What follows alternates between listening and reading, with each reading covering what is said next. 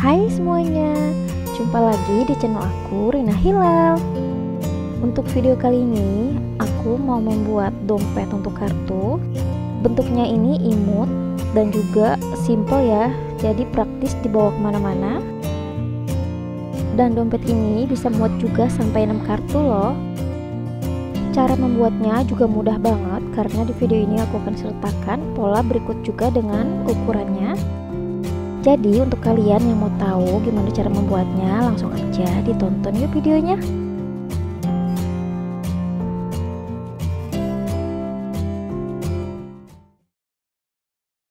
Ini aku sertakan polanya, nanti tinggal digunting aja. Untuk setiap guntingan pola ditambahkan kampu 1 cm sekelilingnya kecuali untuk pola nomor 5 tidak perlu ditambahkan kampu ya. Ini kain yang sudah dipotong dan berikut penjelasannya. Pola 1 kain keras 1 lembar. Pola 2 kain sweat 1 lembar. Pola ketiga dan keempat masing-masing 1 lembar Pola kelima, kain lapisan dalam 4 lembar. Pertama, letakkan pola nomor 1, lalu di atasnya pola nomor 4. Kedua potongan pola ini disejajarkan di bagian bawah.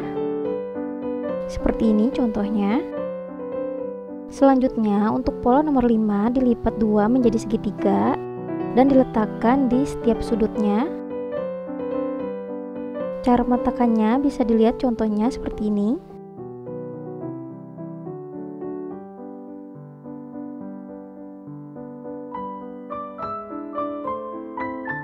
Setelah semua ditempel, selanjutnya tinggal dijahit aja sekeliling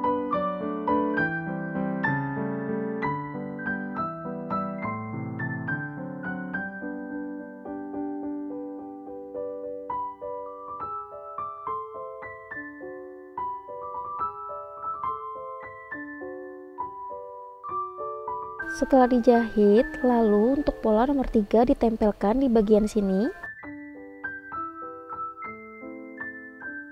Lalu dijahit.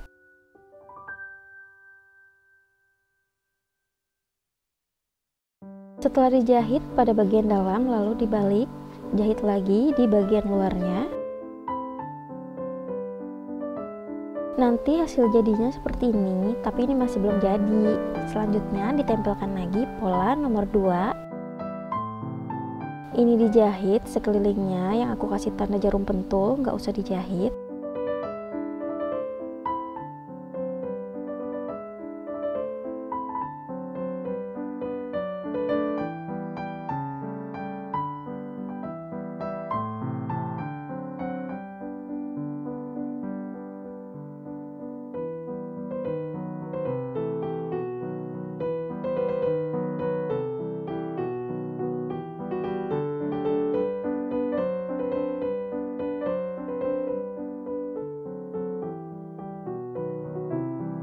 Ini pada bagian ujungnya aku gunting kecil.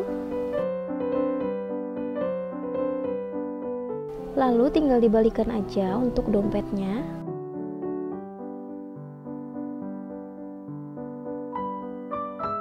Agar hasilnya lebih bagus, setiap sudut dompetnya ini aku pakai alat obeng kayak begini Obeng ini membantu agar setiap sudut dompetnya ini lebih lancip dan terlihat lebih bagus ya.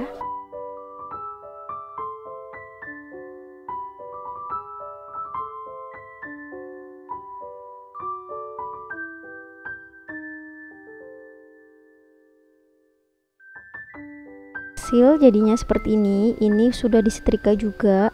Selanjutnya untuk bagian bawah yang belum terjahit, dirapikan dengan cara dilipat ke dalam.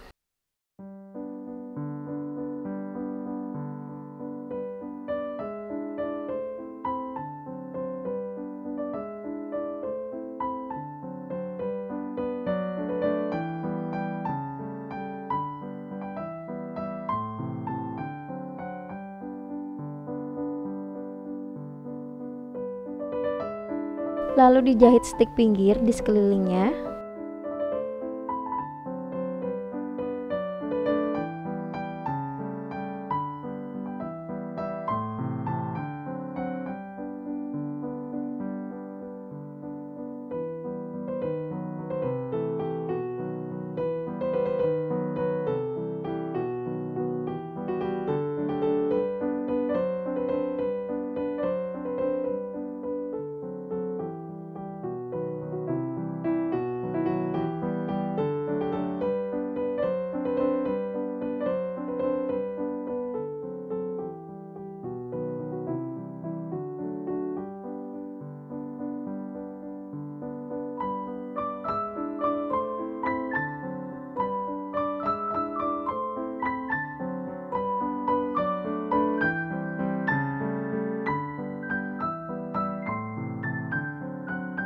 Dompet kartunya udah jadi hasilnya seperti ini.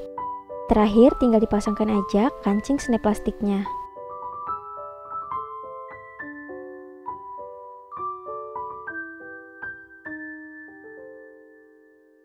Untuk cara pemasangan kancing snap plastiknya, kalian bisa cek di video sebelumnya, judulnya itu The Plier for Plastic.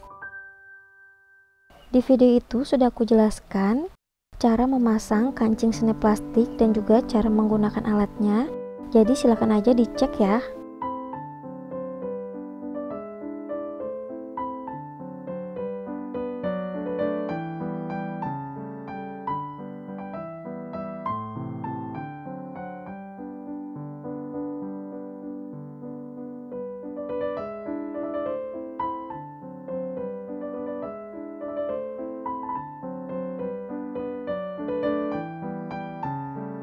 Tutorial cara membuat dompet kartunya sudah selesai.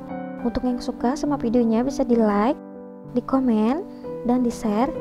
Jangan lupa juga untuk di subscribe channel aku supaya aku lebih semangat lagi untuk buat konten berikutnya.